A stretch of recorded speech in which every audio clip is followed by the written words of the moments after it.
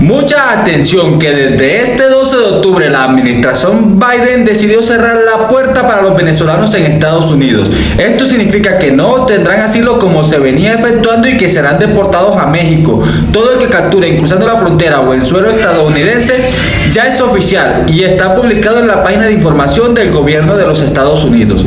El programa de asilo estaba creado para los perseguidos políticos del gobierno de Venezuela, pero en cambio estaban llegando miles de inmigrantes que ya vivían hace varios años en otros países o venezolanos delincuentes y marginales que ah, estaban haciendo caos como hurto, mendicidad y prostitución en Estados Unidos.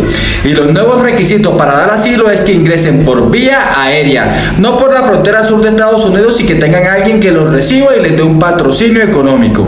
Esta medida también se da para atracar el contrabando de personas tanto en la selva del Darién como en la frontera con México y además del riesgo que corren y la cantidad de muertos de los inmigrantes al cruzar esta selva frontera entre Colombia y Panamá.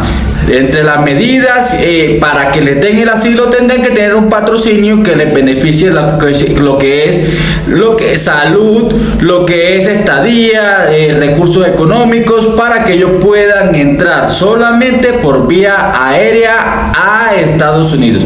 Así que no sabemos qué pasa con los miles de migrantes que en este momento están cruzando Centroamérica y que muchos ya se encuentran en México queriendo entrar a Estados Unidos. Si los agarran, los van a devolver hacia México.